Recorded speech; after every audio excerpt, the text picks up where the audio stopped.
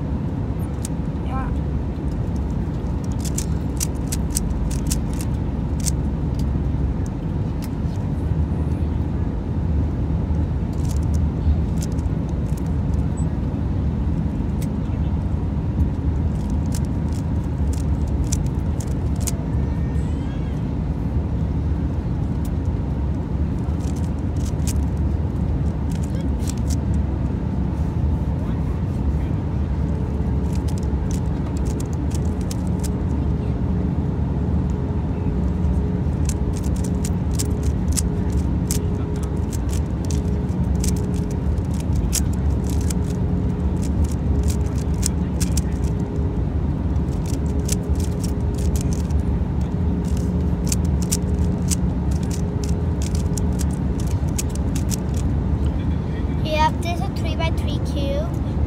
It has 26 pieces and 6 sides.